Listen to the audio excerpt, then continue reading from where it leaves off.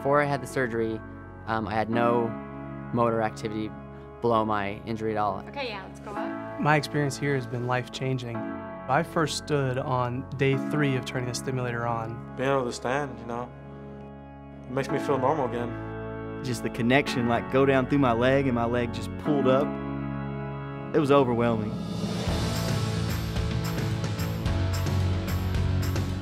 So I've gotten a lot of function back, including my hands. I've gotten back the ability to stand, move my toes, ankles, knees, hips, all on command. We place an epidural stimulator in the lower spinal cord.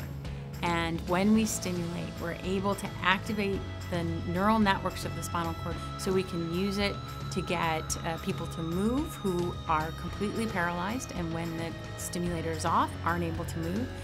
The big idea is a unique example of a study um, based on, on solid science, uh, culminating over the last 30 years into a front-runner study.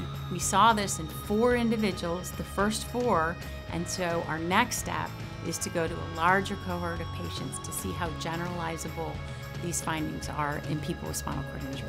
It worked, and it was just, it was nuts.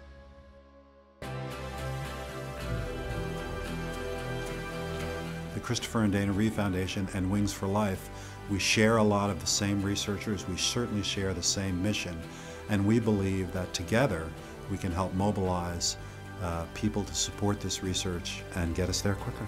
The Wings for Life Foundation and the Christopher and Dana Reeve Foundation joining forces is incredible, and it's going to move this forward at a much faster pace.